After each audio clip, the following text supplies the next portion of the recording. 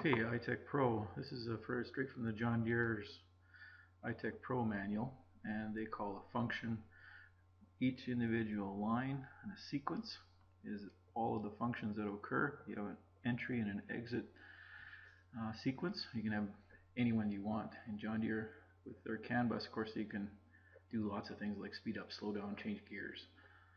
Uh, since they won't release any of the CAN bus codes, well, we're kind of screwed, but can do other things. We can uh, parallel buttons with relays and actually do quite a bit. So their screens or setup sequences are very similar to what I kind of had. And the way it works is you come in and then based on the distances of the headland, you trigger these events. So you have an entry going in and an exit going out.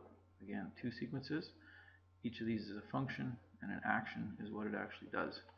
And your distances. Now they used negative distance approaching and positive di positive distance leaving and it's backwards from inside and outside. I took a different approach and made both the same. So it's negative past the headland on both sides and positive going away.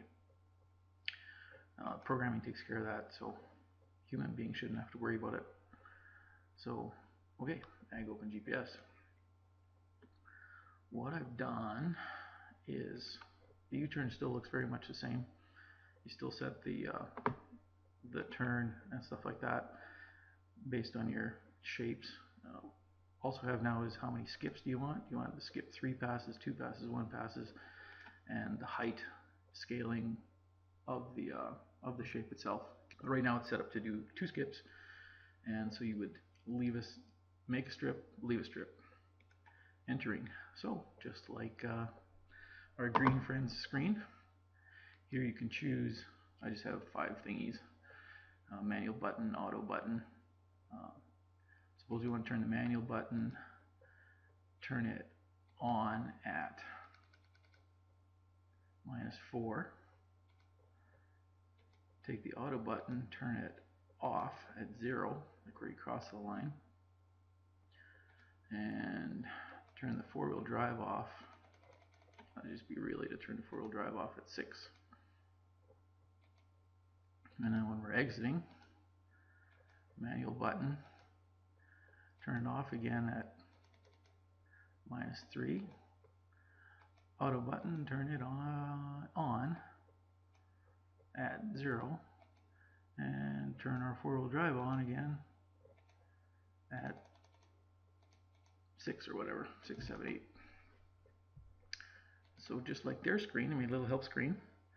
So you're coming in, and an example here, manual button turn off at minus three, turn manual button turn on at plus five. That's where it turns on, that's where it turns off simple. Just hit save. Now set up. Turn U-turn on. This is still the same where it, um, depending on where you want the U-turn to trigger, three meters before the headland or three meters after. Um, and so let's get going.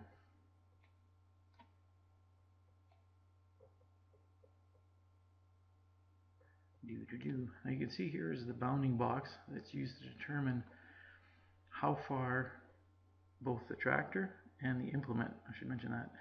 Now the implement is also doing a distance from the headland as is the tractor. So when you set those distances, it's based on the center of the implement and not the tractor because when you go around a corner, especially with an air seeder, they're in two very different places. Now 50 meters away, or 45 meters away, from the headland, that's when it, everything begins. So it's got to know its direction. You got to know the direction of the tool. You got to know how far the tractor is away or the pivot point is away from the headline. And you also have to know how far the tool is away from the headland. See there now it just triggered and that was at 45 meters. Now everything begins. The U-turn is separate from the control of the um, of the iTEC stuff or the the turn on, turn off of all the functions. But uh, the initiation of the turn starts the whole process. So we'll just speed up here. Now we had auto on, right? So a few meters away.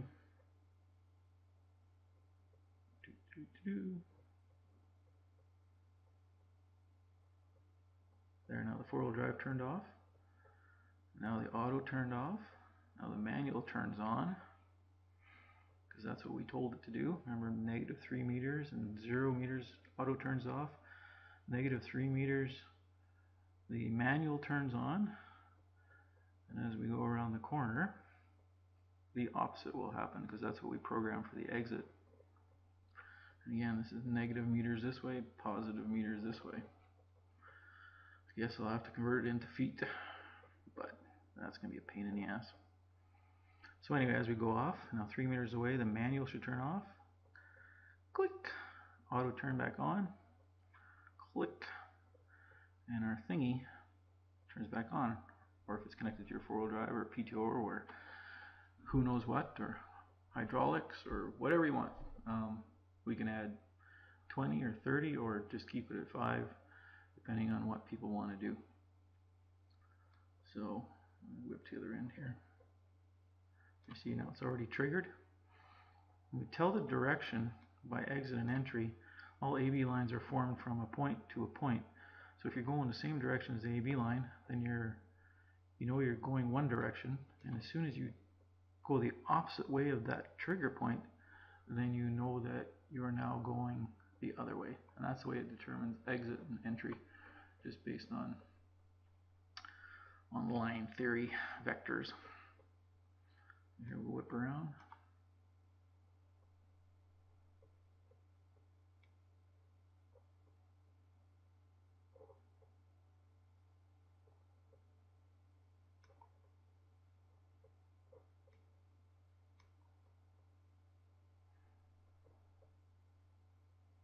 Manual turns off, auto turns on. Thingy turns on. Simple. You want to change direction, you don't want to go that way, you change direction, go the other way. You can manually turn it, cancel the turns, you can uh, do whatever. It's kind of rough yet, it doesn't cancel the functions if you go off track and that sort of thing.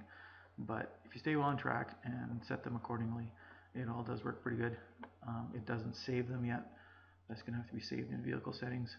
So there's still a bunch of things to do, but uh, thought I'd share with what I'm working on. This is kind of cool because I'm going to really use this for the air seeder this spring to be able to lift up the air seeder and set it down exactly where you want. And along with section control and being able to control whatever you want, it uh, should work pretty good. Anyway, thanks. And I'm sure the black helicopters are going to be coming, landing here soon.